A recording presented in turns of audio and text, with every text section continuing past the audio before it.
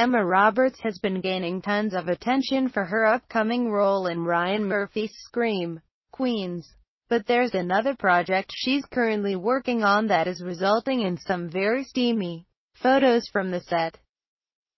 Emma is starring opposite Dave Franco in a big screen adaptation of the novel Nerve, and the two were spotted filming a passionate scene in Brooklyn, NY, on Thursday.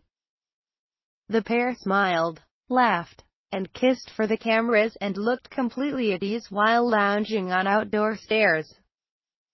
Oddly enough, Emma has also made out with Dave's older brother James on screen. They starred together in his 2013 drama Palo Alto. Keep reading to see the steamy photos from Emma and Dave's day on set.